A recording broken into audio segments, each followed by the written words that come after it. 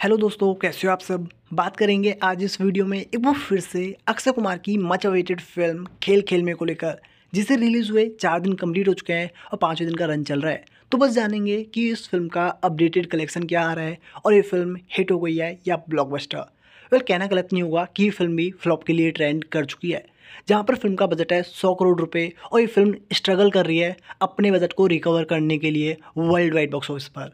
बात करूँ मैं फ़िल्म पाँचवें दिन के कलेक्शन की। ये फ़िल्म कितना कलेक्शन कर पा रही है अपने पाँचवें दिन? आज इस फ़िल्म का total all India net collection आ रहा है ढाई करोड़ की रेंज में, क्योंकि आज रक्षाबंधन है। फिफ्टी परसेंट लोगों की ऑलमोस्ट छुट्टी है, जिसकी वजह से ये फ़िल्म इतना कलेक्शन कर पा रही है। जहाँ पर फ़िल्म का total all India net collection आ रहा है अट्ठारह करोड़ पचास लाख रुपये और वर्ल्ड वाइड कलेक्शन आ रहा है सिर्फ़ तीस करोड़ रुपए।